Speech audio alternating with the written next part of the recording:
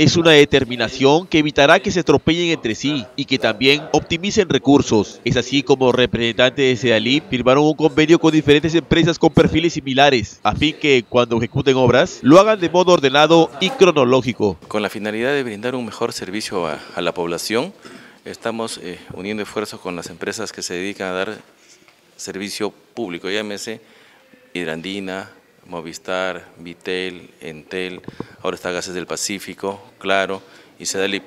Son siete empresas que estamos con la finalidad de conformar un comité de empresas de servicio público. Explicó también que vienen elaborando un plan para realizar trabajos en pleno centro histórico que mejorará el servicio en el sector. El tema es que a veces eh, se hacen obras en una determinada calle, hace una empresa, ¿no? y meses después vemos que otra empresa también vuelve a abrir eh, pistas, las veredas y otra vez con la incomodidad para la población. ¿no? La idea es intercambiar información, datos, que nos permita, por un lado, eh, hacer obras de manera conjunta en el tiempo, ¿no? en el tiempo, y, e intercambiar información para evitar interrupción de servicio. De otro lado, el representante de CEALI también se refirió al corte de agua establecido e indicó que se han designado 10 cisternas para que abastezcan de agua a los distritos que se han visto afectados con la restricción de agua potable en estos días.